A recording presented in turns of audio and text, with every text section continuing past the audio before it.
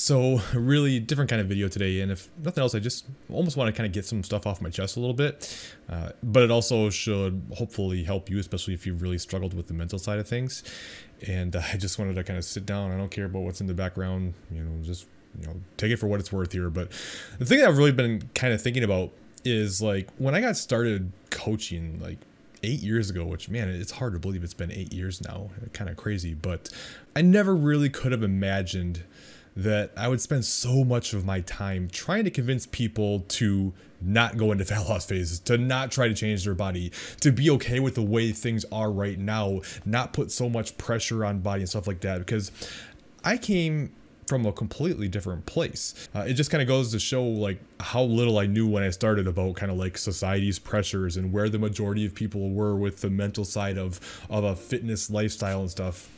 And it's like for me, when I decided to change, I went at it from a much different thought process than most people do, which, man, I'm uh, thank God I did. I didn't know any better. I was just lucky. But for me, it was kind of like, yeah, I didn't like the way things were going and I wanted to make a change. So I just said, okay, like I'm just going to start changing. I'm going to start, you know, cleaning up what I eat. I'm going to start lifting consistently. And I just figured, okay, if I do this, my body should change over time. But I didn't have any pressures and like, okay, it has to be as fast as possible. I should get this result by this time frame. Especially when it came to the big changes, I had no clue how long it was going to take, nor did I create any expectations expectations of how long it was going to take. I just was like, I just want to make changes. So for me, when I started to see changes, I got super excited. It didn't matter. In reality, when I kind of look back, it probably was kind of slow, honestly, but I didn't care. I just want to see change. And I think this is something that kills so many people. Perhaps it's you, but I think if I had gone in with all these expectations of what I should get, I think it would have been a lot different. Instead of really falling in love with the process and starting to love working out and really enjoying how my body was changing, I probably would have gotten pretty down about how things were going. Honestly, like if you took a year into my workouts, which I saw some really nice changes by then, so don't feel like I had I didn't see any changes, but if you were to take that one year and then compare to now, like almost 14 years later, if you were to tell me at that point with another 14 years of work, these are the changes that I would make, I probably would have been like, not worth the effort. I mean, we think about like, okay, 14 years worth of hard work, like I'm going to be Arnold basically, right? Well, it just doesn't generally work that way, but it doesn't make it not worth the effort. It's been well worth the effort. There's just such a big difference between just enjoying the process, enjoying what you get, not putting any pressure on it, rather than constantly like stressing out about how long it's going to take. But with all that being said, I've really just kind of been struggling here for quite a long time. I don't even know how long now, but it's I've just been in kind of a funk with things and just haven't been very excited about any kind of like fitness goals or, or the lifestyle. My workouts have been poor. Like I'm continuing to show up, which is why I continue to, you know, keep myself in pretty good shape. But they haven't been enjoyable. I'm just kind of going through the motions. So I'm not really having much fun in there.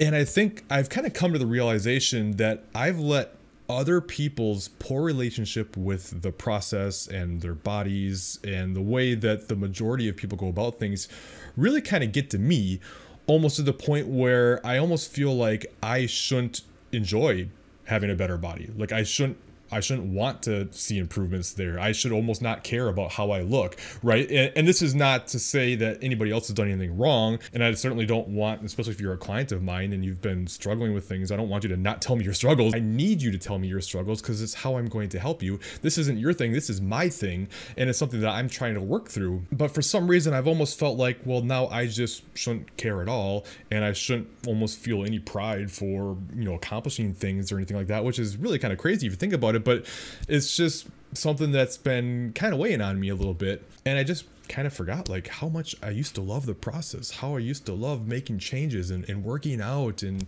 and enjoying, you know, physical progress and things like that. And not as like I should only be happy if I look a certain way, like not at all. And if there's a positive of this, I have become comfortable even when I get into a spot where I, I don't necessarily love the amount of body fat I have. I'm okay with it because I don't want to do a lot of dieting and I want to keep myself in a good spot. And it's definitely a positive that I really honestly don't care what anyone thinks of how I look anymore. Like I really don't. And while that's a good thing, it's also like it takes away some of that drive, right? Like uh, now it's like, well, why work so hard? Like I don't care what anybody thinks, so I might as well just kind of do whatever. And obviously, I don't want to do that. Health still matters. I want to take care of myself, and, and I do like the way I feel. I do feel more confident when I'm in a good place. I really wasn't going to talk about this. I have been in a diet for a handful of weeks here. Uh, I try to go every year or two and just do quick cuts, and this is kind of how I do my maintenance phases. I'm going to talk more about that in a future video when I'm done with this cut, so I don't want to get into that in this video, but it helps me kind of get some of that excitement to see physical changes again, and I'm getting down to some pretty lean levels, which is exciting, but I became a coach because I wanted people to experience this great high that I felt. I wanted the people to know what it felt like to change your body. But man, while there's certainly some of that, it's almost like the majority of people who try to change, their life becomes worse because of it. Like significantly worse. And it's not because changing your body can't help, it's because of how you go into things mentally. It's what's going on up here. And it's because you're like panic all the time. You're desperate to make changes. It has to happen right away. You're so miserable where you are and you don't feel like you should love yourself as you are and you don't deserve to be happy unless you're able to change yourself. And it's just this constant fear, panic, desperation, and it's a miserable place to be. You've heard me say before, there is no happy ending to an unhappy journey, and this is very much part of it. How could you possibly get to a good place if you're miserable throughout the whole process. And when you do this, it's like nothing's ever good enough. You're not happy because you're not where you want to be yet. You haven't gotten to this mystical place that you think is going to be the place that makes you happy. And you're just constantly picking yourself apart, and other people are getting better results, and your relationship with food is terrible. It's just everything. It's a lot. It's too much. You have to let that stuff go.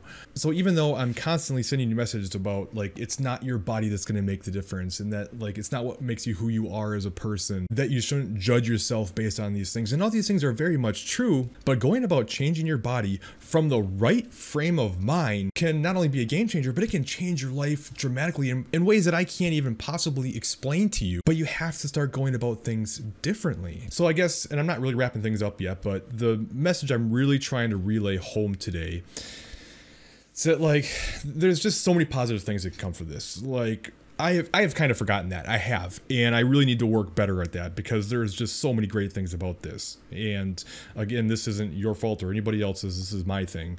But I have this old saying I used to say a lot, and I haven't really said much, uh, if at all, in a very long time. And I used to say, if you don't let the weights beat you, you won't let life beat you. And what I'm saying by that is like the gym teaches you so many valuable life lessons. And not the least of those is when you're struggling to reach some kind of performance based goal in the gym, like if you're trying to lift a certain weight or whatever, but you can't get there and it's a struggle and you keep failing at it and it's just beating you down, but you keep going, you keep trying to hit these goals and then you eventually make it, man, that just positively changes you so much. And it teaches you the value of perseverance, about not giving up when things get hard. And these things that happen to you as you change your body, that is great, but it also helps change you from the inside out much more than anything happens on the outside. Everything changes. You become more confident. You start to grow as a person. You get better at almost everything you do, everything in your life. Everything starts to click better. And these values you learn from learning to not give up, that's what matters more than anything. It's not the physical result, it's that things got hard and you felt like giving up. Everything in you was saying, give up. This is too hard. It's not worth it. But you keep going. That's how you get where you want to be. And that changes you to your core. It's why I am where I am right now. And I'm not saying I'm like the greatest person ever or anything like that, but hey, like I've made some pretty big changes, uh, me and my family, I should say, that not a lot of people will do. And the only reason, I'm telling you, the only reason I'm here right now, the only reason me and my family picked up our entire lives and moved in my mid 30s to go all the way across the country to the place where we wanted to live in the nice weather in Florida. And I gave up my career of 15 years and started fresh and created my own business to do this. It all happened because of the lifestyle changes I made and the confidence that gave me through going through that process. It's not just lifting weights. So many people will be like, oh, come on, bro, it's just lifting weights. It's not that important. It's not that serious. I'm like, it is. Not because of the weight you lift, not because of the, the muscles that you grow. Hell no. It's because of what happens in here. This stuff is so powerful. So powerful. I'm, I, I, I'm getting my passion back. You can probably hear it in my voice. I have lost this and I need to get it back. And it's, it's starting with this video. And this video is so much for me, even probably more so than you. I hope you're getting some value out of it. But I just wanted to get this off my chest and talk about things because so many people just don't get it just stop rushing the process all the time. Stop freaking out when things don't go the way you want them to. It's good. It's good that it's not going well because it's hard. And hard is what changes you. Nothing in life worth having comes easy. Nothing. The harder it is, the longer it takes, the more rewarding it is. The better it feels when you finally accomplish it. All this stuff that I've accomplished here took forever. Took years. I made jack squat for years but just kept going, kept going, kept going. And once it eventually clicked and everything finally started to roll together and we were able to buy our house and it was just like this amazing thing, that's what it's all about. Not getting everything right away. It's not instant gratification. It doesn't do anything for you. You don't change positively from that stuff. Name one thing in your life that you got that came easy and you were proud of it and that really positively changed your life. Now I'm getting ahead of myself. I have a video plan to talk about this more in the future, so I'm going to stop with the easy side of things and that will be coming. It's an important lesson. But just remember all this as you move forward. I really want you to get away from trying to rush things all the time and losing patience. It's making you miserable. It really is. It's not that you're not getting results that's making you miserable. It's the value you're giving to it. It's the way you put so much pressure on it. It's the expectations you create. You choose to create these expectations, and then when it doesn't come to fruition, it gets you down. Happiness truly is the difference between expectations and what you get. Right. And if you expect the world and it doesn't go well, you're to get down. If you expect nothing, but it goes even okay, now you're happy with what's happening because you're seeing a result. That's what matters. It's not about how fast, it's a lifestyle. There's so many positive things that come from changing your body, but you have to change the way you go about it mentally. I hope this video helped. It helped me. Like I got some stuff on my chest and uh, much different video. And um, if you found value, then, you know, let me know in the comments. And, uh, you know, I wish you all the best. I'm here. If you need help, uh, you know, reach out. I'd be happy to help coach you. And, um, you know, let's do this thing together. I'm coming from a completely different mindset now. I feel so much better now. Always remember that. Like, whenever you're struggling, talking about it is the best thing you can do to get over that struggle. Like, it's like getting the poison out. Gary Vee says that. Get, get that poison out. Don't hold it yourself. Don't try to get through it yourself. It's one of the biggest values of having a coach because now you have somebody who can support you and is in your corner. So, wasn't really a plug for coaching, but hey, might as well do it, right? So, uh, anyways, I've rambled on long enough. Hope this helped, and I hope you have a good rest of your week.